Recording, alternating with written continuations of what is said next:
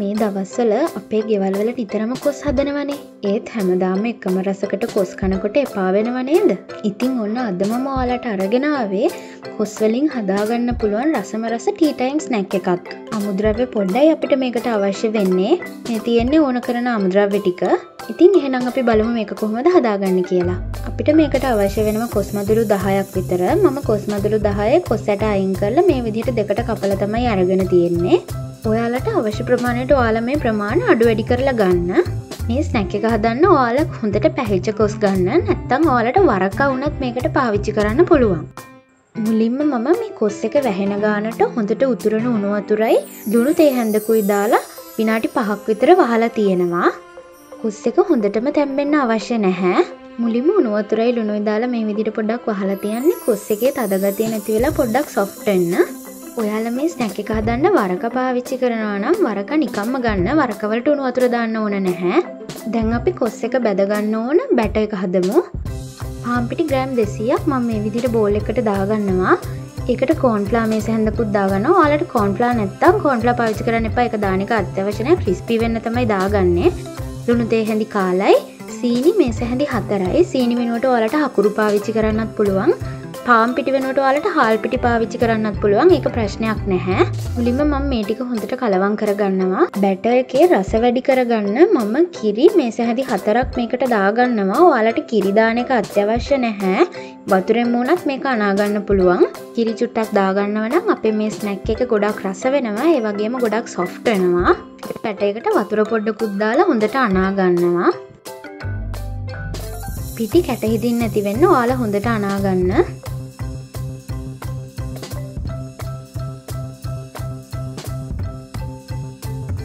මේ ස්නැක් එක හදන්න ගොඩක් තික් බැට එකක් තමයි යෝනේ ඔයාලගේ බැට එක දියාරු වුණොත් වතුර වැඩි වුණොත් ඔයාලා තව පිටි පොඩ්ඩක් දාලා බැට එක තික් එකට හදාගන්න.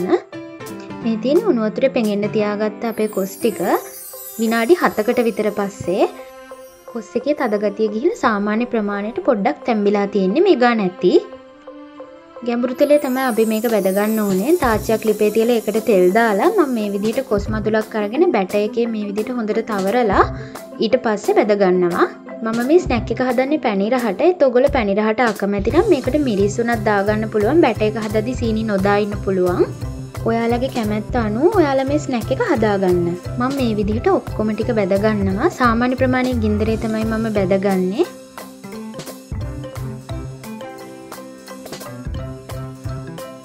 මේ වගේ ගෝල්ඩන් බ්‍රවන්් කල එකක්කාවට පස්සේ මම මේක ලිපෙන් අයින් කරගන්නවා. ඉතින් මේ දවස්සල ගෙදරින ඔයාටත් පුළුවන් ආගේ පවුලෑයට මේ වගේ රසම රස ස්නැක් එකක් හදල දෙන්න. වැඩි වෙලාවක් යන්නෙත් නෑ. විනාඩි දහයකින් ඕලට මේ ස්නැක්ස් ටික ඔක්කොම හදල ඉවර කරන්න පුළුවන්. මම සේරම ටික මේ විදිහට බැදගන්නවා ගින්දර සාමාන්‍ය විදිහට තියාගෙන බැදගන්න ගින්දර වැඩි කරගන්න එපා. එතකොට මැද අමුවෙයි මේ තියෙන්නේ අපි කොස්වලින් හදාගත්ත රසම රස ස්නැක් එක. ඇත්තටම මේක කොස්වලින් හැදුව කියලා කියන්න බැහැ ඇත්තටම හරිම රසයි. ඔයාලත් මේක අනිවාර්යම ට්‍රයි කරලා බලන්න. මම මේකට පැණිටිකුත් උඩින් දාගන්නව රස වැඩි වෙන්න. මම කලිනුත් කිවෝ වගේ ඔයාල පැණි රසට අකමැතින මේක සැරට හදාගන්න පුළ එක ඔගොලගේ කැමැත්තන ඔගොල හදාගන්න. ඉතිං ඔයා මගේ මේ රෙසිපේකටත් කැමති වෙන්න ඇති කියලා මම හිතනවා. ඔයා මේ රෙසිපිකටත් කැමති නම් ලයික් කරන්න කමෙන්ට් කරන්න ෂයා කරන්න. මගේ ට්‍රෙන්ඩි ඉත් චැනල් එක තම සබස්ක්‍රයිබ් කල නැත්තං අනිවාරයම සබස්ක්‍රයිබ් කල බෙල්ලයිකන්න එකත් කලික් කරන්න. ෆස්බුක් ඉන්ස්ග්‍රම් ලිින්ක් සුත් ම ඩිස්ක්‍රපෂන් එක දාලා තියෙනවා. ඕලමාව ෆස්බුක් ඉන්ස්ග්‍රම් ෆලෝ කරන්න. අදට මම ගිහිල්ලෙන්න්නම් ඔයාලට සුබ දවසක්ම